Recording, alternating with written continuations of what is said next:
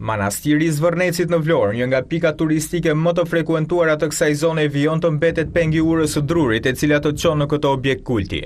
Rikonstruksioni i saj para një viti nuk ka dhënë efektet e pritura, teksa ura e drunjtë si pasojë e degradimit përbën një rrezik për cilindo që kalon në të.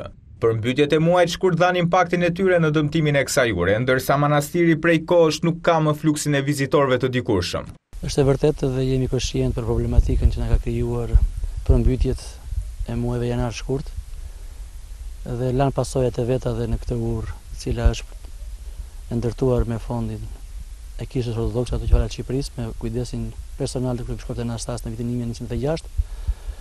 Dhe jemi në fazat e pregatitjeve për të marrë masat për ta rindërtuar këtë urë përsëri, zyra teknike e Kishës Ortodokse Autoqefale e Shqipërisë në Tiranë po punon, ka mbaruar pothuajse faza e parë e studimit gjeologjik, sepse e dimë që këtu është një kënetë. Sezoni turistik është shumë pranë dhe apeli i medias dhe qytetarëve për rikonstruksionin e plotë të kësaj ure deri më tani ka rënë në vesh të shurdhër.